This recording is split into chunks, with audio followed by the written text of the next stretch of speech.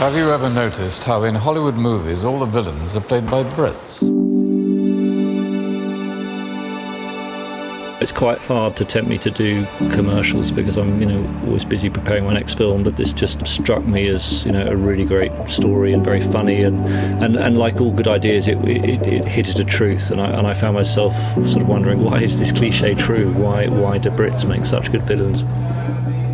To get that cast, Mark Strong, Ben Kingsley, Tom Hiddleston, who are all famous for playing iconic bad guys, to get them to reference some of their own performances and their own attitudes to villainy, I thought was, was great fun.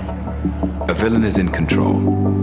A villain is a mask of elegance and style, behind which is a, uh, a whirring and, um, and brilliant intelligence. But uh, the trick is to make it all look easy. I think the best bad guys are very charming and very witty, and their villainy, as it were, comes at the, the twist of a wrist or the flick of a finger. We never break a sweat, we don't get our hands dirty, and uh, the devil plays all the best tunes, um, particularly in a British accent.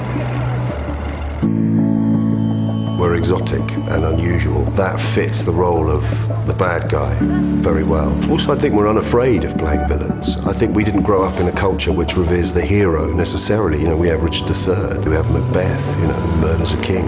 The reason why I think villains are kind of important is a hero is only as good as his villain. You can't be a hero without a villain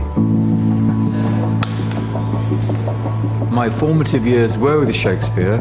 His villains are extraordinary, they're brilliant. They're so richly layered that a British actor finds it almost impossible to, to create a two-dimensional villain if he's explored our wonderful Shakespearean heritage. It's actually one of the great pleasures as a director who brought up in London to be able to use the, your own city. And actually, it was quite fun to shoot in all these iconic locations pretty much all the action you see is done for real. You know, the helicopter chasing the car is done for real, which kind of in a way gives you more latitude maybe to play on the humour at the same time. Mark Strong turned out to be incredibly impressive in doing his own driving with the Russian arm. He was true to his villainous character and that he was completely calm about doing, you know, manoeuvres. First thing I noticed about the car is the kind of roar of it. You're sitting low down, looking over that dashboard with that bonnet, with that noise. I mean, I can see why you might have thought that, that was the kind of villain of all cars.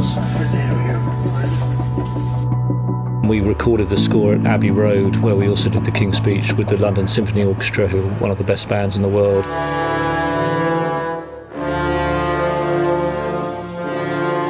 Alexandre Desplat did an amazing job creating a score that both referenced the tradition of sort of action movie scores, but also, of course, being Alexandre, come up with a really memorable melody.